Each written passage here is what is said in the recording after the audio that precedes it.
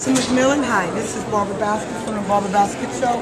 I noticed that during your debate you focused on a lot that the rent is too damn high. Would you care to elaborate? That seemed to have been your shining point throughout the whole debate. Rent is too damn high. It's like the body of a car. It's the problem. Jimmy McMillan is the engine of that car. My fuel is out of business, going out of business, lost our lease working eight hours a day, 40 hours a week, and some a third job, fighting for social justice and the war on poverty. That is my view. But if you feel that rent is not too damn high, don't pay your rent next month and see what happens to you.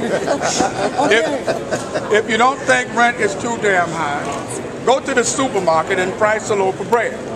They are charging the prices increases on the bread because of the rent they're having to pay. In other words, that means I was right. Rent is too damn high. Some people say that I'm a one-issue candidate. If they can understand that rent is the cancer to this crisis we have, they would not ask me that question. For the young people, I will continue to fight and make the point because you cannot and there is no place for you to live in the state of New York. Why? Rent is too damn high. Hello?